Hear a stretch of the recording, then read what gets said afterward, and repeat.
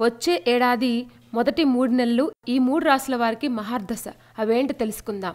జ్యోతిష్య శాస్త్రం ప్రకారం బుధుడు ముప్పై ఒకటి డిసెంబర్ రెండు వేల ఇరవై రెండున ధనుసు రాశిలో తిరోగమనంలో ఉంటాడు. ఆ తర్వాత జనవరి పద్దెనిమిదిన ధనుసు రాశిలో సంచరిస్తారు.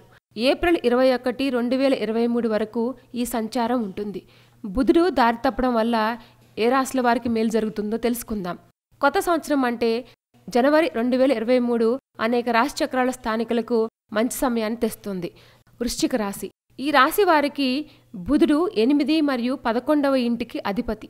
కెరీర్లో పురోగతికి అవకాశాలు ఉంటాయి. ఉద్యోగస్తులు పదోన్నతితో పాటు జీతాల పెంపు ప్రయోజనాలను కూడా పొందవచ్చు.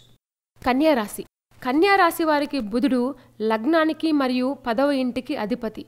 ఈ రాశికి చెందిన వారు ఈ కాలంలో వాహనం లేదా ఏదైనా ఆస్తిని కొనుగోలు చేయవచ్చు. ఆదాయ వనరుల పెరుగుదలతో డబ్బు ఆదా చేయడంలో కూడా విజయం సాధించవచ్చు. వ్యాపారం చేసేవారికి ఈ సమయం లాభదాయకంగా ఉంటుంది. చాలామందికి పునరావాసం కోసం కూడా మార్పులు చేసుకోవచ్చు. మేషరాశి. మేషరాశి వారికి బుధుడు తృతీయ ఆరవ ఇంటికి అధిపతి. వీరికి సామాజిక గౌరవం పెరుగుతుంది.